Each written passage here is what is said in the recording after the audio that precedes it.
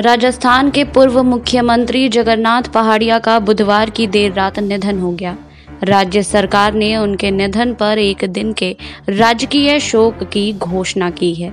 पूर्व मुख्यमंत्री कोरोना संक्रमित थे। प्रदेश के मुख्यमंत्री अशोक गहलोत ने पहाड़िया के निधन पर शोक जताया है।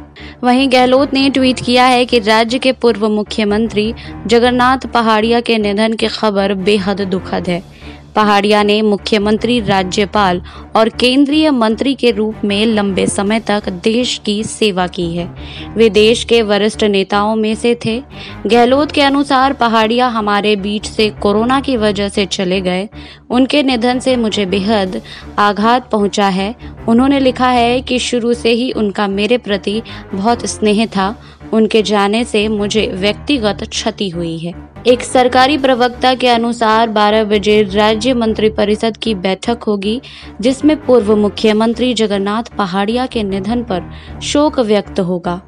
पहाड़िया के सम्मान में एक दिन का राजकीय शोक रहेगा, एवं राष्ट्रीय ध्वज आधा झुका रहेगा। सभी सरकारी कार्यालय में 20 मई का अवकाश रहेगा। पहाड़िया की अंत्येष्टि राजकीय सम्मान से होगी। आपको हमारी रिपोर्ट कैसी लगी, हमें कमेंट बॉक्स में लिखिए। बाकी और खबरों के लिए जुड़े रहिए एस पी न्यूज़ के साथ।